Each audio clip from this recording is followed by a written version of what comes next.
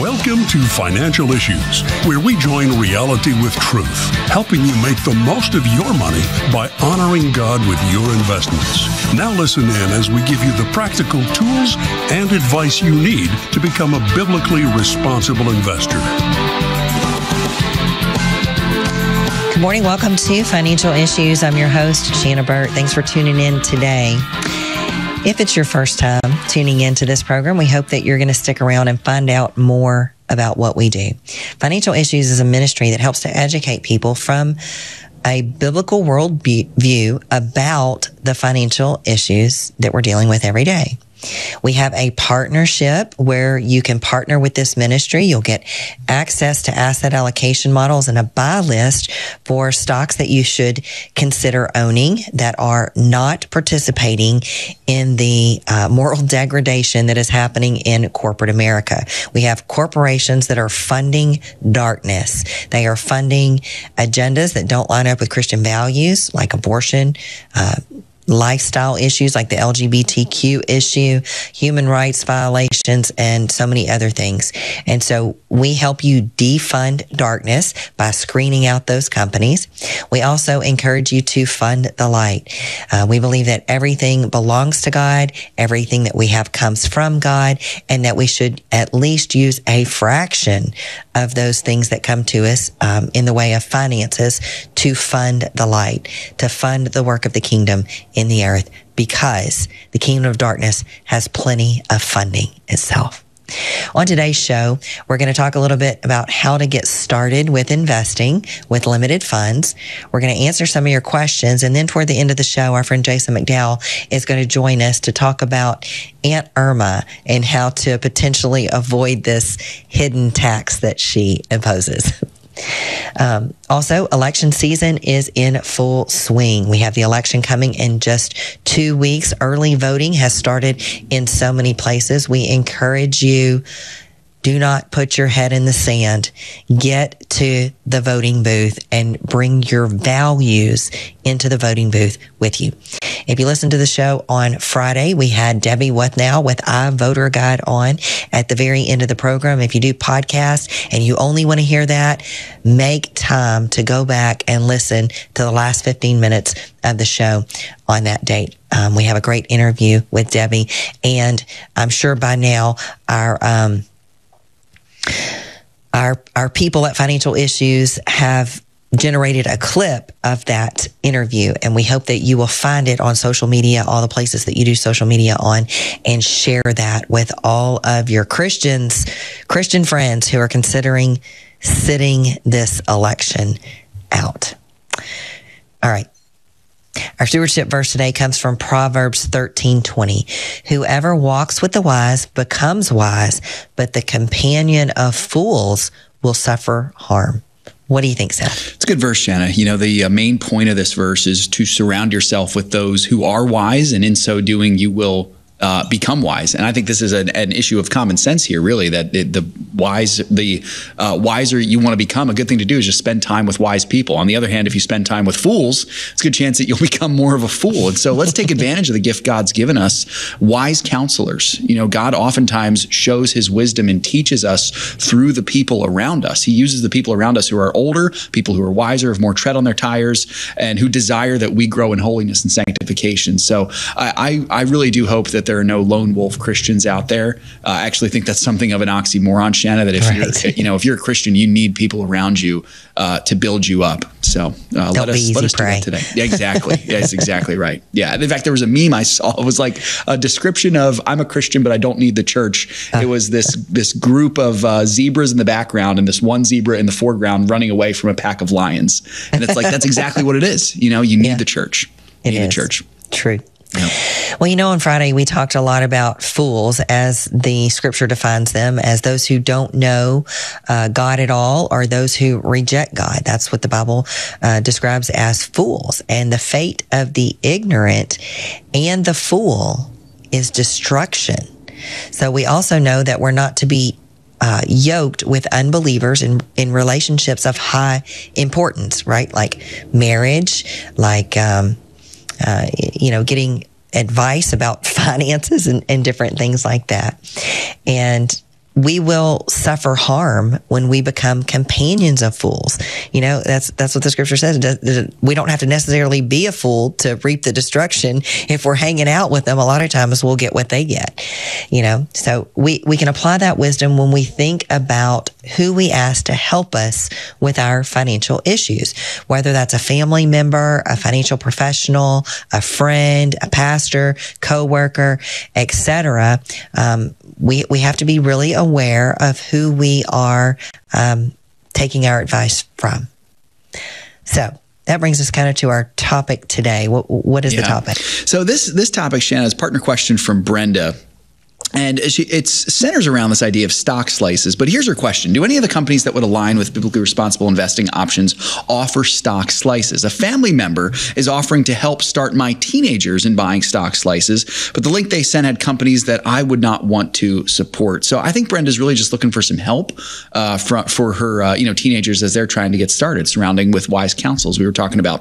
But just to follow up, Shana, to start, what is a stock slice? Exactly. Yep. Well, from the context of her question, I'd never actually heard of a stock slice, but yeah. I kind of got the gist of what she was talking about just through the uh, context of the question. So I looked it up, and you know, a stock slice is not an industry term; rather, it's a, a particular discount brokerage's uh, terminology for buying what's called fractional shares. That means that you don't have to buy a whole share. So if you only have $20 and you want to buy a share of stock that's $40, you really can only afford half of a share of stock. And normally you can't do that, but, um, there are brokerage firms that will allow you to buy fractional shares with little to no commission. Because think about this. If you're buying uh, even if you're buying one share of stock that's $20 and a commission were $30 for the commission it, it, would not make a lot of sense to do that. So this is a way that a certain brokerage firm has made available for people to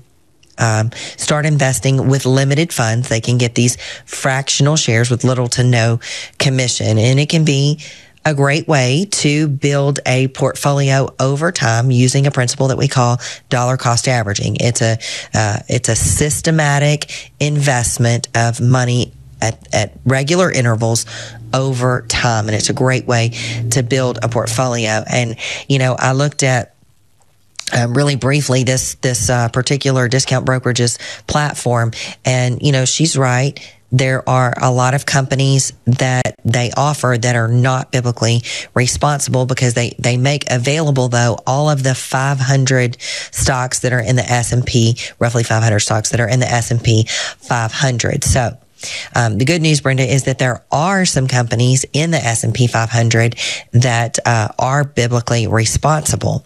So you can use our screening tool on our website. Just go to resources and drop down to evaluator, and you can screen through and you can see um, which companies are clean. Better yet, um, refer to our buy list and see which companies from our buy list are available for purchase. Mm, good stuff, Shana. And then what other wisdom would you have for Brenda as she's trying to help her teenagers uh, begin their investment journey? Yeah. So what I would say is this is a great opportunity, Brenda, for you to uh, minister our stewardship verse of the day to this friend who is offering to help shape the minds of your children. I think it's a great thing that they want to um, share financial literacy with them.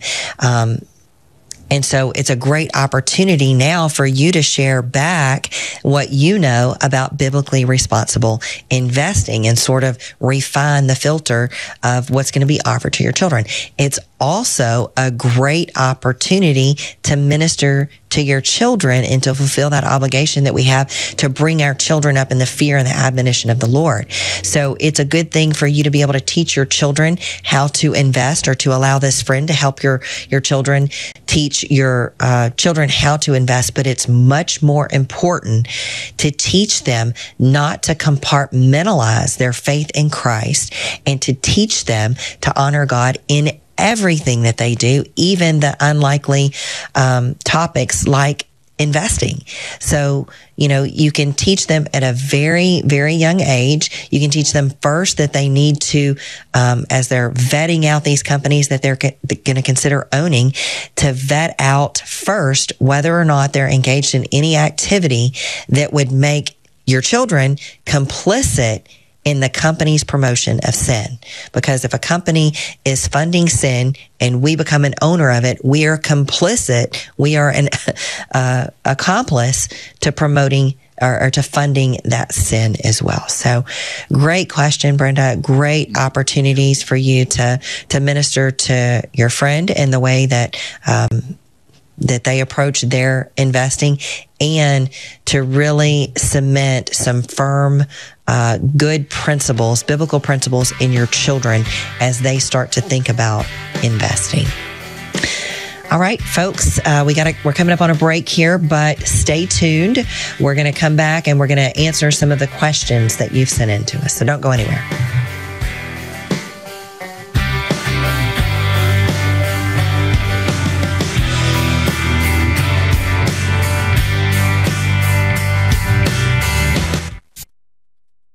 My name is Valtasia. I have five kids total. I was basically a single mom. I didn't have an address to my name. And here it comes, you know, that not just one baby I'm finna have, it was three. I honestly was not gonna keep them. I had it in my mind deep down inside that I couldn't do it. I came straight abortion minded. What changed my mind was I talked to the counselor and, you know, very encouraging. They'll also tell me, you know, you're not gonna be alone. You know, if you need anything, you know, reach out to us or anything. I was amazed. I definitely have a challenge of having my babies. A lot of people will ask me, how do you do that? You know, how do you maintain? Only thing I can say is prayer. Like prayer really, really worked. To donate, just dial pound 250 and say the keyword baby or go to financialissues.org and click on the preborn banner how is Timothy Plan continuing to lead the fight as you guys now enter your fourth decade uh, of, of leading this fight of, of biblically responsible investing? We've been too silent for too long, and we can no longer be silent. You stand up, uh, like Ronald Reagan said, you know, we're only one generation away from losing all of our liberty. Yeah. It has to be fought for. Mm. I wish it didn't uh, and you can fight for it. You don't need guns and ammunition and that. You can fight for it, especially with your dollars, because it's always about the money. Mm. And when the money uh, starts impacting people, they start paying attention. Uh, you know, when we launched this, they said it couldn't be done, but yeah. here we are 30 years later. Uh, they said you couldn't get competitive returns, but here we are. What a tremendous testament of God's grace. Go to financialissues.org forward slash Timothy plans to learn more about Timothy Plan.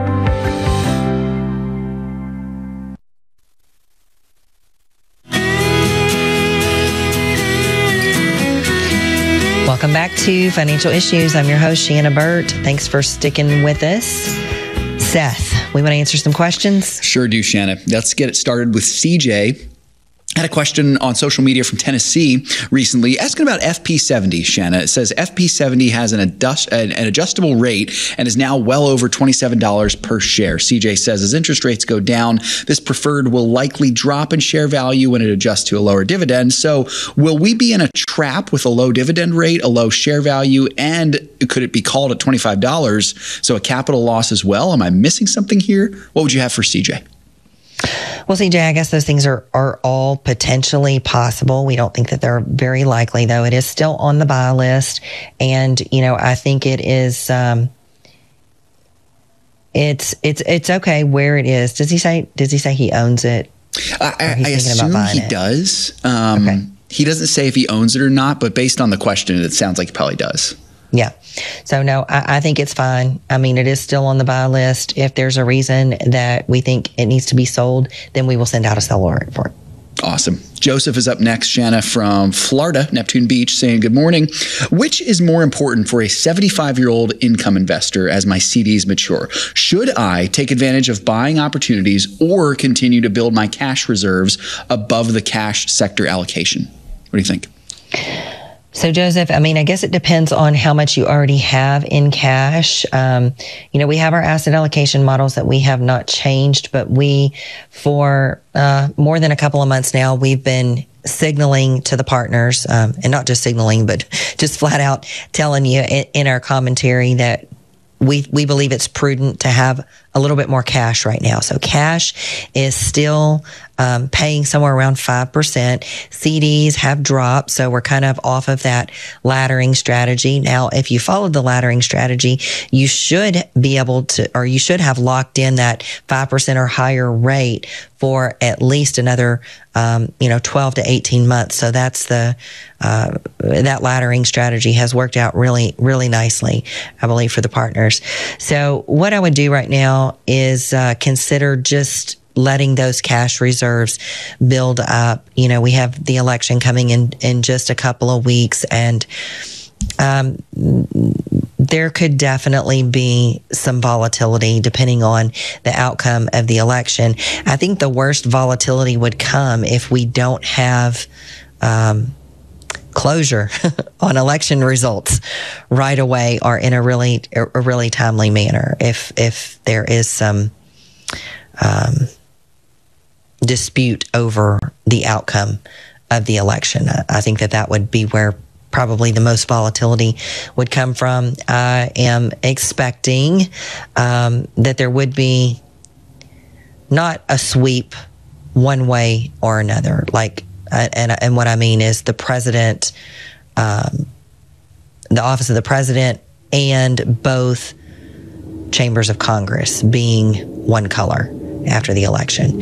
Um, so I think that, like I said, the most volatility could potentially come from not getting election results right away or there being some kind of major upset with election integrity, um, so on and so forth. So, we want to have some powder dry in case there there is some volatility that is temporary that we could we could take advantage of and maybe um, scoop up some shares at some decent prices.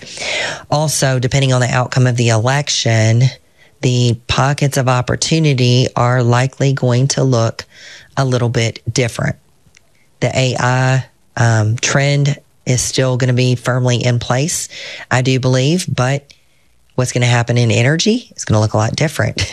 you know, these companies that are that have that have tanked in value, that have been all in on the green agenda, the you know the solar panel um, and, the, and the green stocks that have just plummeted uh, may get a little bit of a revitalization if it's a Harris win.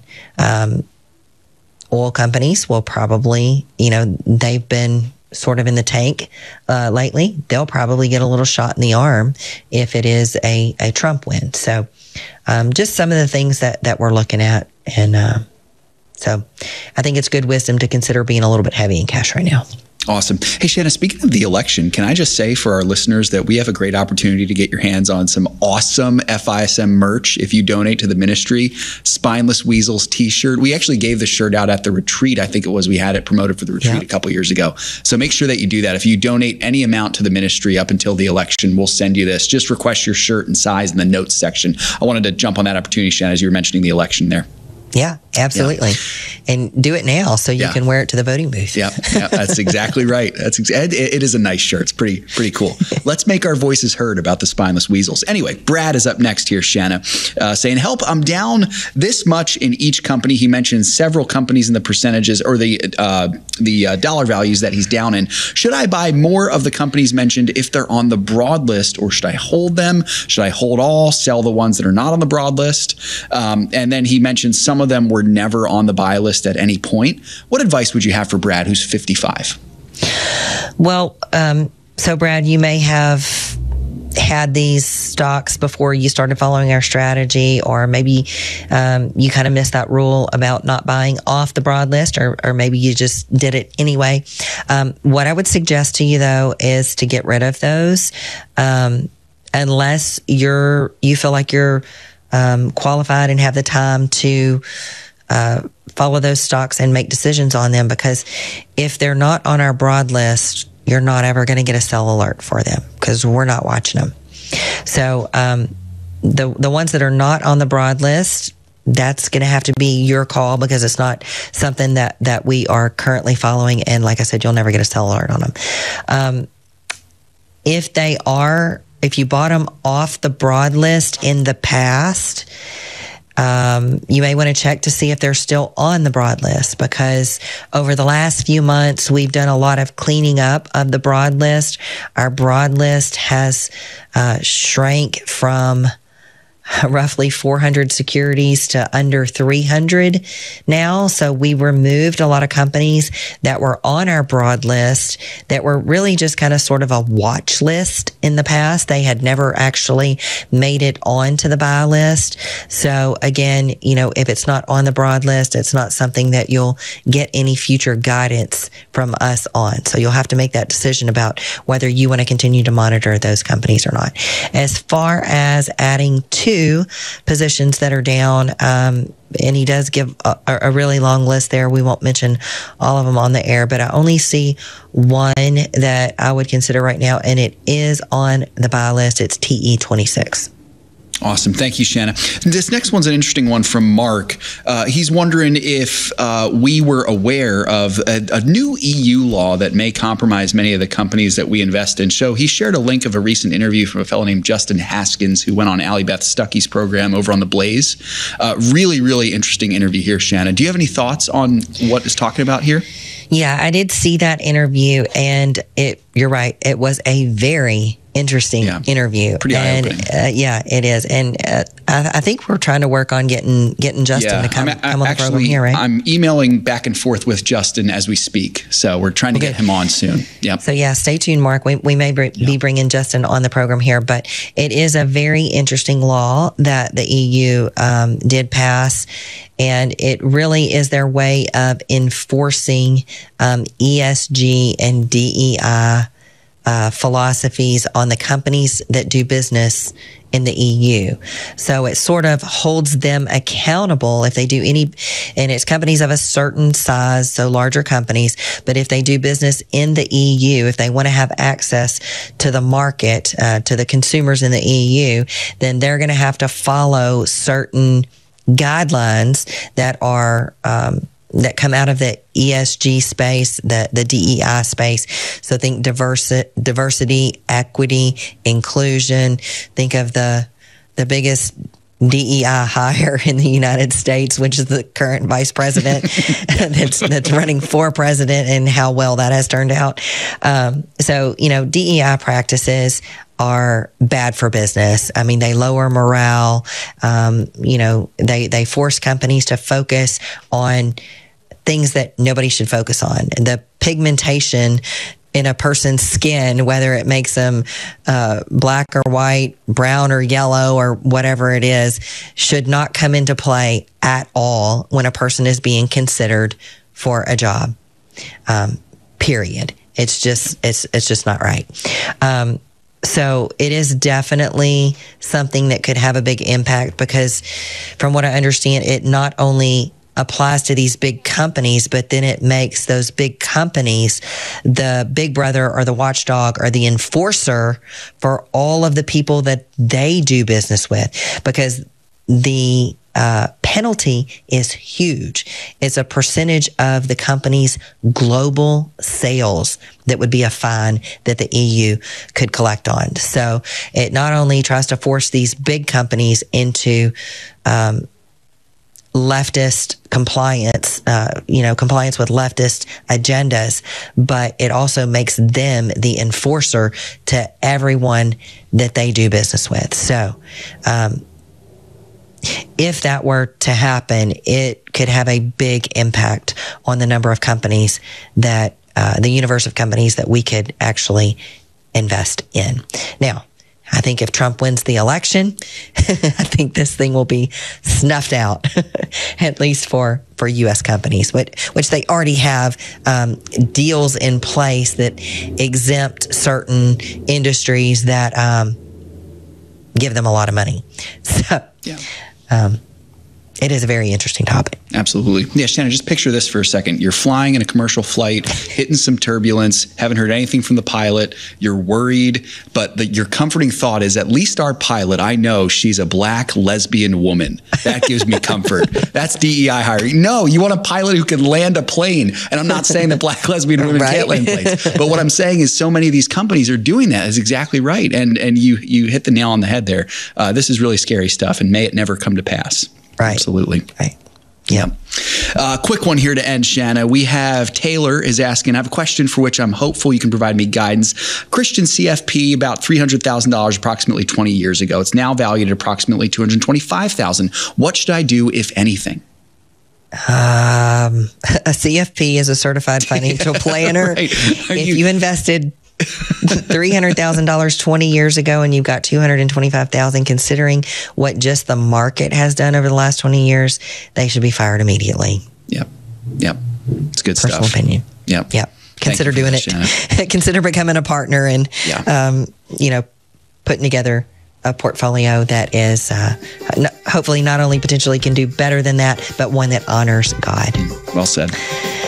Well, folks, uh, if you're listening on an outlet that only carries the short version of the show, we hope you have found a way to catch the entire show, whether that's by podcast, social media, or our phone app. For the rest of you, we've got more financial issues to come, so don't go anywhere. Stick around. We'll be back. Is inflation, national debt, and volatility in the markets causing you anxiety? Well, you're not alone. I'm Shana Burt, host of Financial Issues, a nationally syndicated, biblically based program. During our daily program, we help you navigate the current financial climate and provide valuable insight so that you can be a good steward with the money that God has blessed you with. The Bible tells us not to worry and to seek wise counsel, and that's why Financial Issues is here. Join our partnership community by visiting financialissues.org slash join. Hi, this is Sheena Burt, the host of Financial Issues. Financial Issues family is so blessed to have saved tens of thousands of babies, all thanks to the generous support of you, our listeners and viewers. For $140, you can sponsor five ultrasounds. Please go to preborn.org, that's preborn.org, or financialissues.org and click on the preborn logo. Save a baby, save a life. Our founder, Dan Celia, often lamented the weakness of politicians on both sides of the aisle, having no spine to stand up for what is right. Our generation has raised up a bunch of weasels. We don't have the people that have fortitude. Oh, they may have some faith, but they don't have the fortitude that is needed. Where did all those spines on Capitol Hill go anyway? There are so called leaders in Washington that have a title of a leader, so they think they are a leader and they couldn't lead their way out of a paper bag. For a limited time, Financial Issues will send you a No More Spineless Weasels shirt or travel mug with any contribution. We just ask that you consider covering the cost of shipping and handling. Get your Spineless Weasel shirt today. Support financial issues and let everyone know how floppy politicians can be.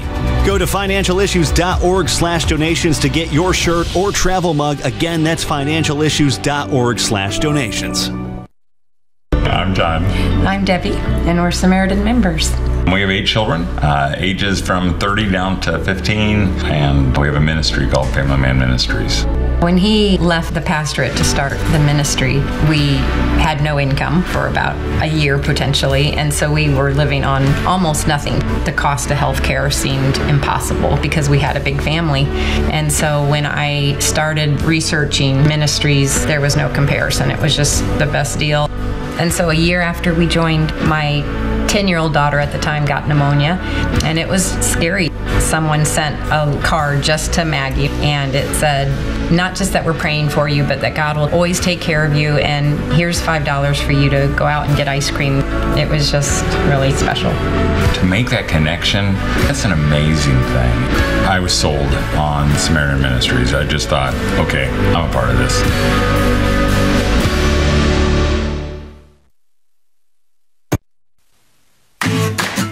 Securities offered through GA Repple and Company, a registered broker dealer and investment advisor, member FINRA and SIPC. Opinions expressed by Shana are hers alone and are for informational purposes only, and do not necessarily represent those of GA Repple or the outlet on which you are listening.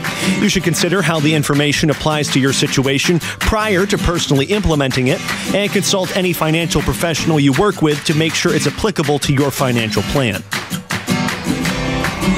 Hey, welcome back, folks. Seth here. I'll be with you this segment here, and then we've got Shana returning next segment with Jason MacDowell. But uh, before we get there, I'd be remiss if I did not just remind you of what we mentioned earlier in the program. We are in the middle of election season now, and so uh, we're doing a little pretty sweet FISM giveaway for these next couple weeks. Uh, we want you to have the opportunity to get your hands on some pretty awesome FISM merch. As you've heard earlier in the show, our founder, Dan Celia, possessed a righteous disdain for what he called the spineless weasels of Washington, D.C. Those were people on both sides of the aisle. Uh, usually we think of Democrats as well as establishment Republicans uh, and even some professing Christians in Washington, D.C. as well, uh, who have no spine. They will not stand up for what is right. Uh, maybe they're just in it for the money. Maybe they're in it for the glory. Uh, maybe they got in genuinely thinking I'm going to make real change, and then the poison of Washington, D.C. finally got to them. So we want to make our voices heard and say no more spineless weasels. So if you make a donation to FISM for any amount over the next couple weeks, you will receive this beauty right here, this bad boy, the No More Spineless Weasels t shirt that you can wear to the polling office on election day. And we'll also throw in one of these sweet FISM No More Spineless Weasels tumblers. So make sure to make your donation today. Uh, if you go to financialissues.org slash donate, financialissues.org slash donate, uh, excuse me, let me say that again, fism.tv slash donations. Best way to go is go to financialissues.org and just click the donate banner at the top. That takes you right to the page where you can donate. If you're going to do it online, folks, make sure you specify in the donation line your shirt size. I will say we have a, a, a numerous um, variety of shirt sizes. However, we have limits on each one. So uh, we may have a fewer number of smalls than we do of extra large. So if you know your size, make sure to get it in immediately because we might run out of that size before you know it. Uh, so we want to make sure to make that available to you all. Donation of any amount. If you've already got one, I know some of you have. Uh, maybe this would be a great early Christmas gift for your left-leaning in-laws, something like that. You know, just throwing that out there. So it could be could be fun there. But make sure to get your hands on this awesome merch today. We'll be offering these for the next two weeks up until election day. Quickly here, folks. Markets on Friday they were on the rise uh, and they finished well on Friday.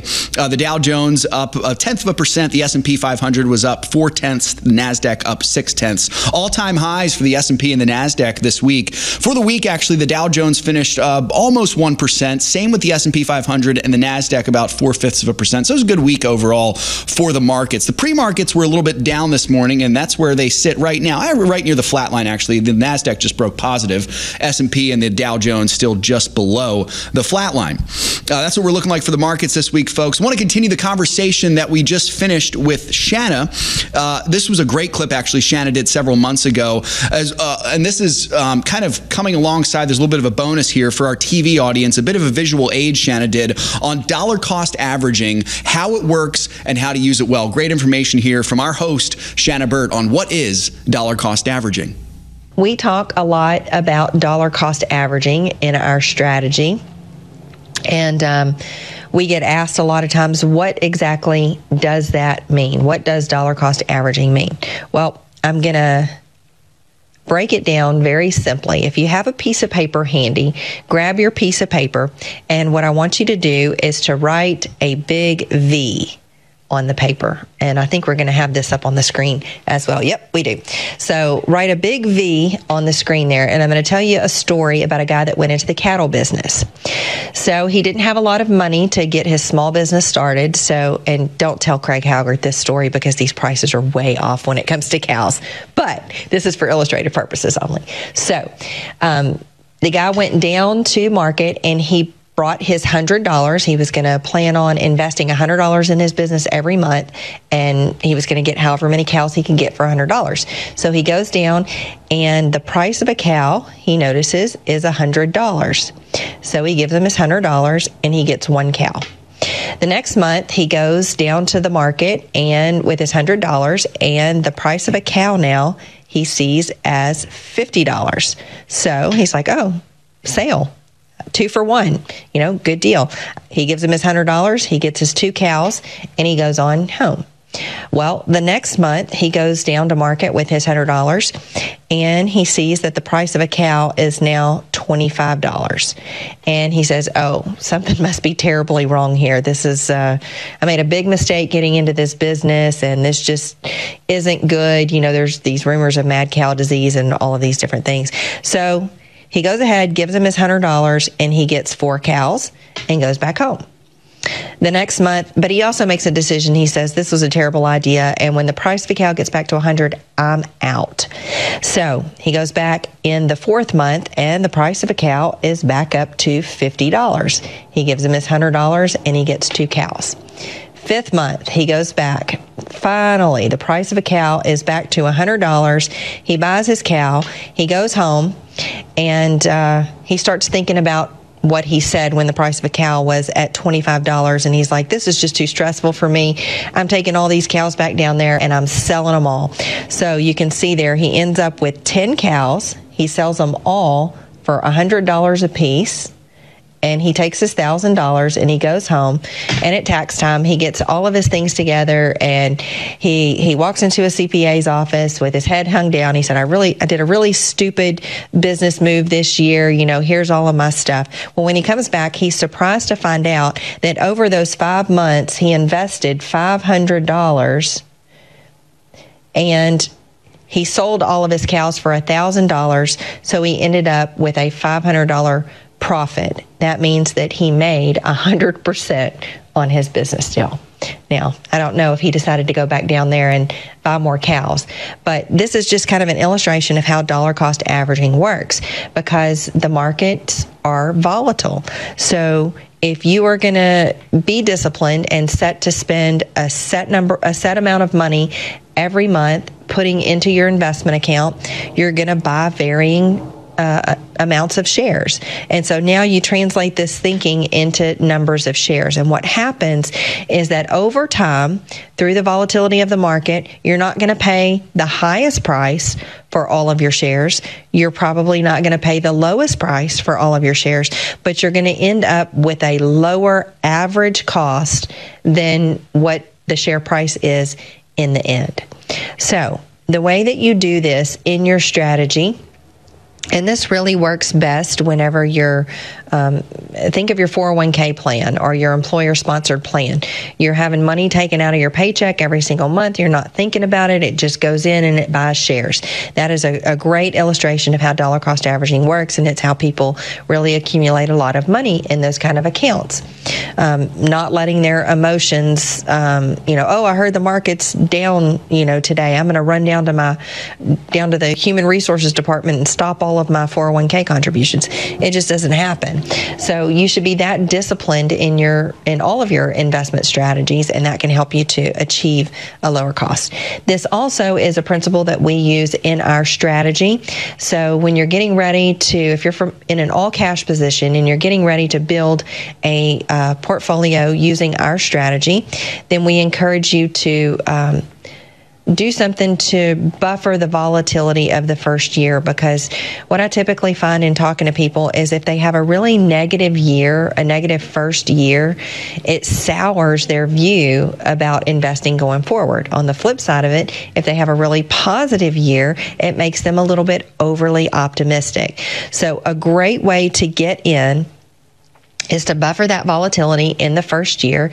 And so if you're going from 100% cash position, what you can do is you can say, make a commitment that I'm going to get fully invested to whichever asset allocation model I've chosen over the next six months. So you divide your total by six, and then you start on day one putting one sixth of the money to work every month on the same date, whether the market's up or down. You're going to continue that disciplined strategy and you're going to get your portfolio built. Now, if we see um, extraordinary volatility. Let's say that um, something happens like what happened with COVID, and we saw, you know, a 30% drop in the market in a very short period of time. Well, rather than being scared and calling off your plan, you may want to accelerate your plan a little bit. So if you're in the second month, rather than doing one sixth, maybe you do um, one third, or you do two of the six plan payments. Maybe you speed it up a little bit. So that's a it's a great way to help buffer that volatility. So if you're if the market is higher in a year from when you started your plan, you know you're going to give up a little bit of return. But on the flip side, if the market is down um, a year later, you're not going to experience as much of a downturn. So it helps to buffer that volatility and it helps to really, um, you know, come into an investment plan with a with a good good train of thought. You there, folks? Uh, as always, good to be here with you all. Hey, we do not have the ag report today, though it is on the website. So if you're looking for the ag report, that is the best place to find it. Coming up next, folks, we've got Jason MacDowell joining Shana Burt for the remainder of the show. You don't want to miss it. Uh, it's great to be here with you all, as always. Make sure to get your hands on the FISM merch, the Spineless Weasels, No More Spineless Weasels t shirt and tumbler. We're offering those for a donation of any amount to the ministry for the next two weeks. Good to be here with you all. Shana's coming up next with Jason. More financial issues after this.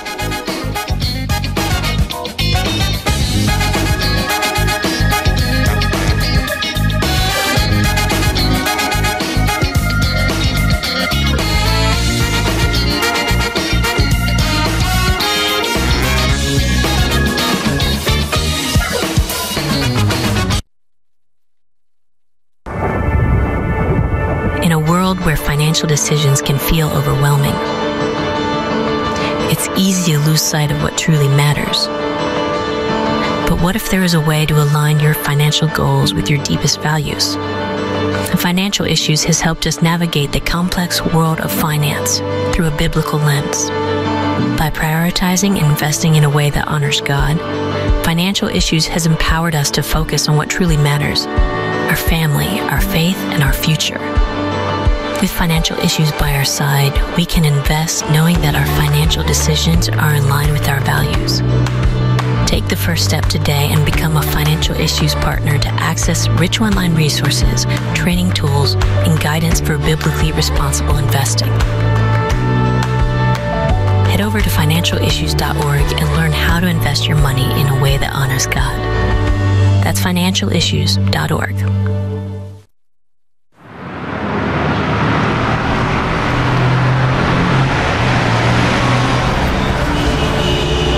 Navigating through investment options can be challenging, especially when you're determined to uphold your God given values.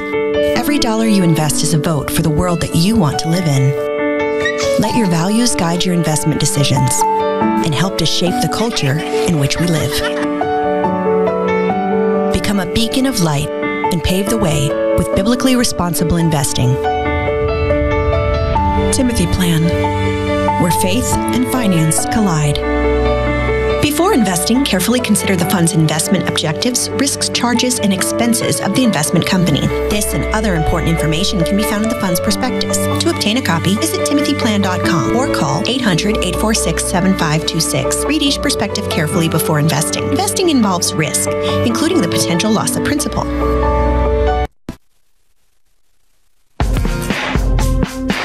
Opinions and recommendations expressed on this program do not necessarily represent the opinions of the station or any of the program sponsors.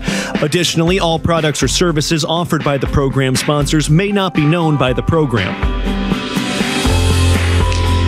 Welcome back to Financial Issues. Thanks for sticking with us. I'm your host, Shana Burt. You know, one topic that we talk a, a lot about on this show is taxes. So you'll you'll hear me say a lot that I think taxes are going to be higher in the future than what they are today, um, because of a couple of things. Because the government can't manage its own lunch money, much less the trillions of dollars we trust them with to manage um, every single year, and um, the debt that we're in. I mean, that's just going to be something that continues to push spending higher and higher and higher. So the government doesn't make money; they only appropriate money. They um, we, the people, have given them the authority to collect taxes from us and the authority to spend that money as they see fit through passing laws.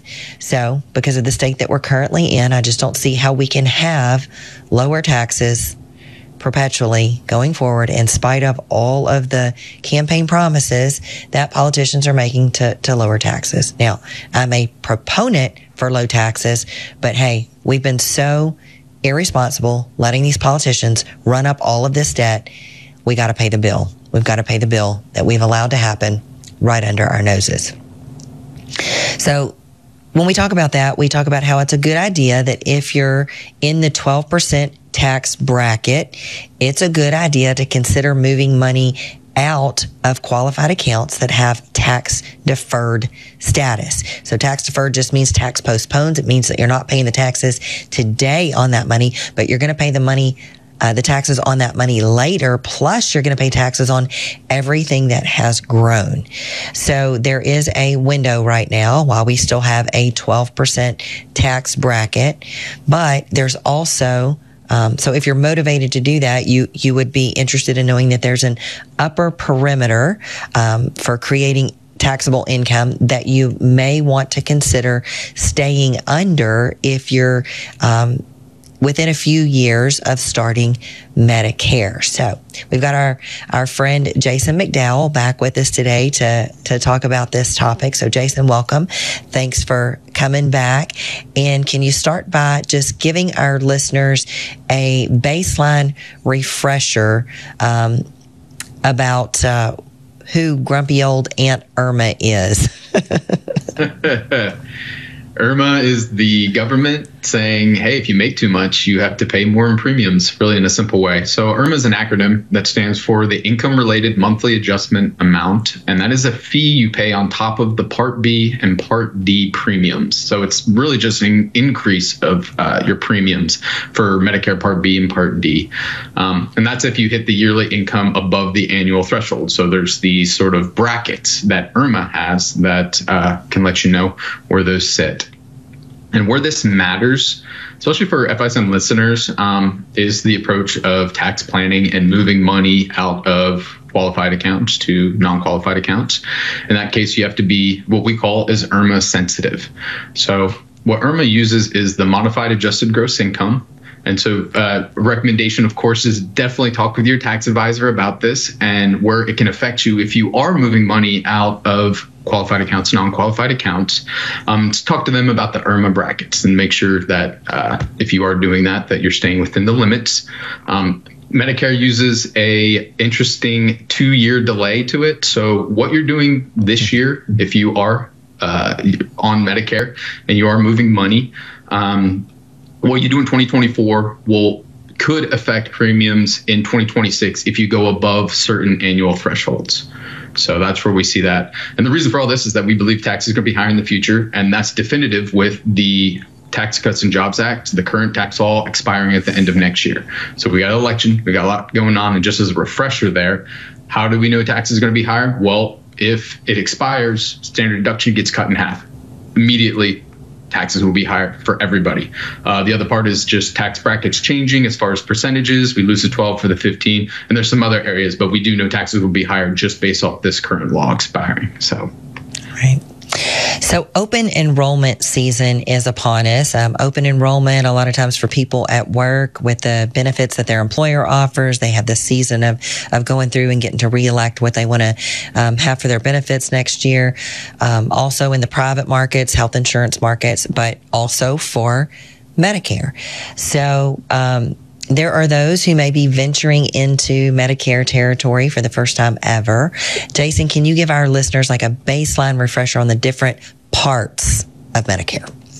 Absolutely. So, uh, the first part is free, and we'll call that that's called Part A, and that's going to cover hospital care. So that doesn't have a premium attached to it, which also means that uh, IRMAA is a possible increase to existing premiums. So that would cover in Part B and Part D. So Part B is going to include Part A hospital care. And then Part B will include the physician and many other services with it. And then Part D is really just the co- uh, drug coverage. That also has a smaller premium depending on certain uh, uh, thresholds there.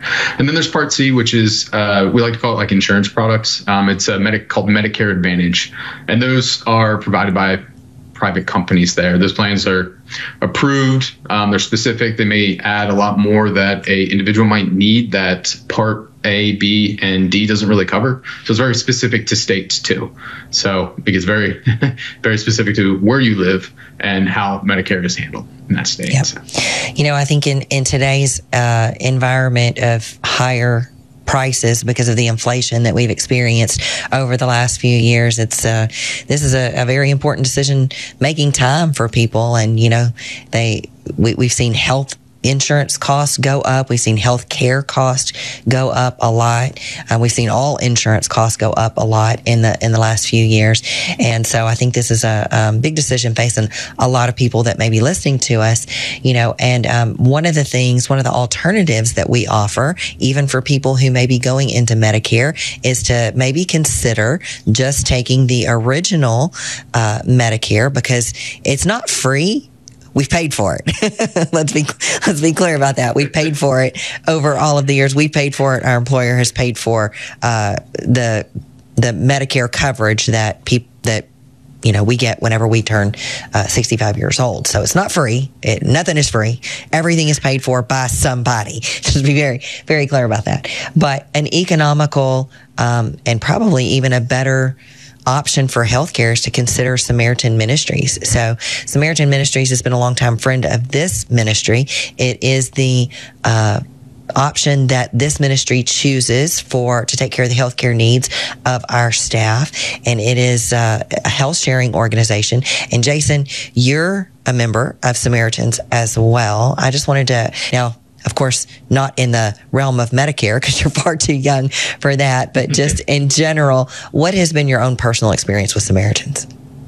Uh, fantastic. I have a very unique uh, testimony with it that I'll just provide. Um, so, I have a two year do- two year old daughter now, but when we found out that my wife was pregnant, um, I went to check back on the the windows to. Uh, I should have had the maternity care uh, on our Samaritans, and so of course when I did, it, I go, oh no, it might be too late. So of course we missed it by about a week. But there's another option that Samaritans is. Um, that allows for uh, maybe if you missed a window, like for us with the maternity care, uh, it's called special needs and it's for those that are doing outside of the traditional monthly uh, sharing in healthcare with uh, their particular plans.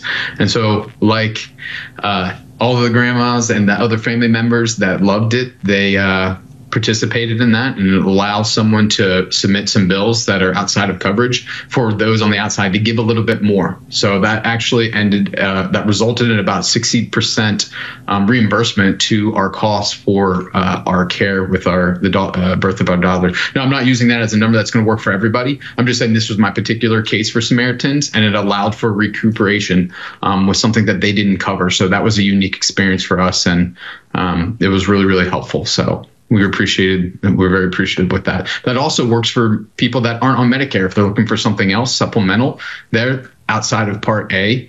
Um, like look at samaritans. They do have plans that way that will help care for those. And if things aren't cared for in that plan that special needs is uh, great. It's a great second option there um, to help with those costs so. Yeah, good stuff. You know, your testimony illustrates um, the point that we make a lot of times that using health health sharing ministries is doing healthcare God's way, right? Because you know we think about the early church. I mean, can you imagine, um, you know, having insurance through one of the traditional health insurers, and then you know, here's your bill for your premium, and by the way, do you want to um, help?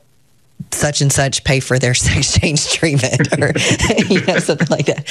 So i mean it's it's ridiculous to think that somebody in you know just the general market is is going to be charitably inclined just to help somebody else with anything else like they do uh, in samaritan ministries. But you can rest assured that you'll never be asked to pay for somebody's abortion or somebody's gender affirming care or um, silly things like that. So that's good. Well, thanks for joining us again today, Jason. It's always a pleasure to have you on and and share your your wisdom and your experience.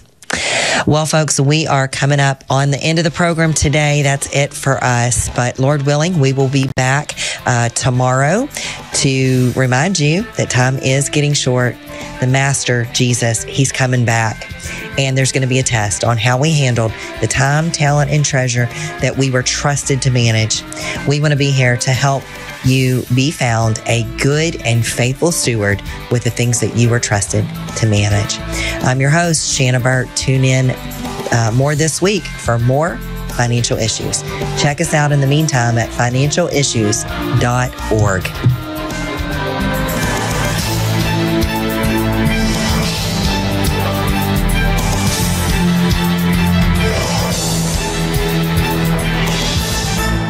If we ever forget that we're one nation under God, then we will be a nation gone under. Thank you for joining us. This has been an FISM production.